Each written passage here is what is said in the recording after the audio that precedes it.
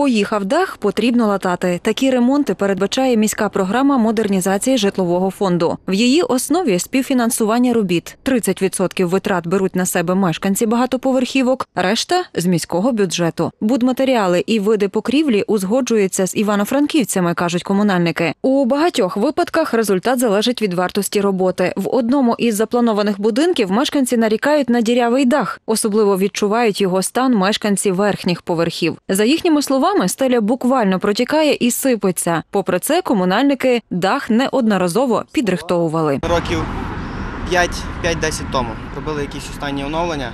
Наразі зібрали дуже велику суму грошей, десь місяць назад або два. Але роботи ще не почалися абсолютно. Для мене ще значення дах немає велике, але для сусідів з третього поверху там жахливо просто. Може просто коли починається сезон або дощів або снігу, це просто жахливо.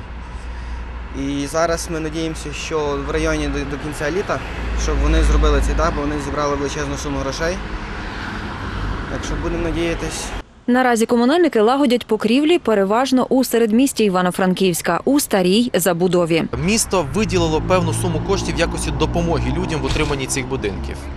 Загалом програма передбачає виділення близько 14 мільйонів гривень на е, всі роботи пов'язані з е, модернізацією житлового фонду. Саме е, по дахам це приблизно в районі 4 мільйонів гривень.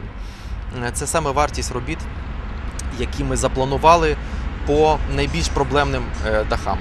Є ті об'єкти, які є перехідними ще з минулого року, є об'єкти нові. В єдиному розрахунковому центрі нарікають з очікуваних бюджетних грошей казначейство затримує понад 4 мільйони гривень. Це спричинило тимчасові простої. Торік було зведено нові дахи на 35 помешканнях. Вікторія Гордієнко, Оксана Дудій, Сергій Щочкін. Новини на вежі.